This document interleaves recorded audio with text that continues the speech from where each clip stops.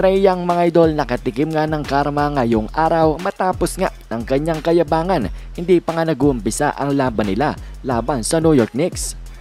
Well, sa umpisa sa pagpapractice nga nila sa pag-shooting pre-game, suot-suot na ni Trey Young ang kanyang sapatos na may nakasulat na King of Broadway. Pag-iindika na siya nga daw ang hari ng New York mga idol. Matapos nga nung naging performance niya noong nakaraang playoffs pa, tapos ineliminate niya itong team ng Knicks. Kaso, ang pagyayabang niya nga pre-game ay hindi na back-upan ng kanyang performance laban sa New York Knicks. Well, una mga idol, tambakan nga sila ng 27 points, 113 to 89 ang final score.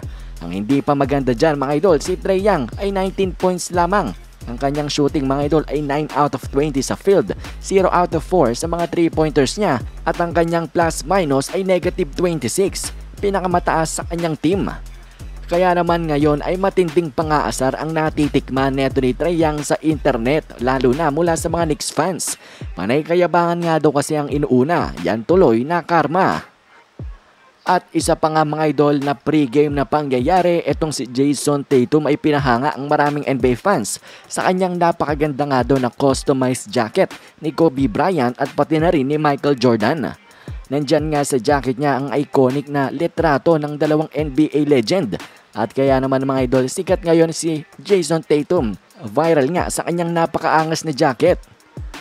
At mga idol matapos ng mga pre-game na pangyayari, ito namang post-game na pangyayari dahil ang anak ni Ja Morant ay nakisali nga sa kanilang celebration dance.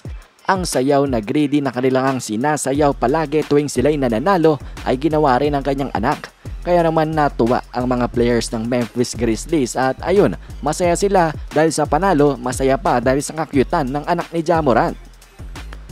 Pero anyways mga idol sa ating panghuling balita na New Orleans Pelicans number Well, ngayon, matapos nga ng kanilang 5-game winning streak na ngayong araw na ito, matapos nga rin nilang mapanalo ang laban nila laban sa Detroit Pistons sa panguna ng isa sa kanilang mga franchise player na si Zion Williamson na may 29 points and 10 rebounds on 68% shooting, ay dapat na nga daw bigyang pansin itong very dangerous na New Orleans Pelicans team.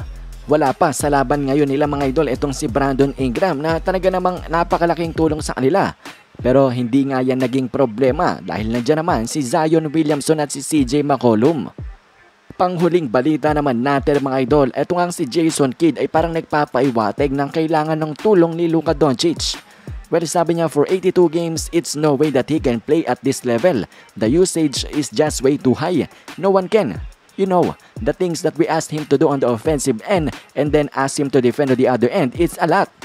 Masyado nga daw madaming pinapagawa kay Luka Doncic ang Dallas Mavericks sa opensa at depensa na hindi nga daw dapat mangyari nang dahil kakapusin to panigurado si Luka pagdating sa playoffs. Kaya nga di ba nung nakaraan, balita sa kanila naghanap sila ng playmaker na makakatulong for sure kay Luka Doncic na mabawasan yung kanyang trabaho at ang kanilang target daw ay si Derrick Rose. So tingnan natin mga idol kung ano ang mangyayari dito nga sa pahayag nito ni Jason Kidd. May mangyayari ba? At kikilos ba ang team ng Dallas Mavericks para nga matugunan itong pahayag ni Jason Kidd? O mananatili na nga lang itong pahayag?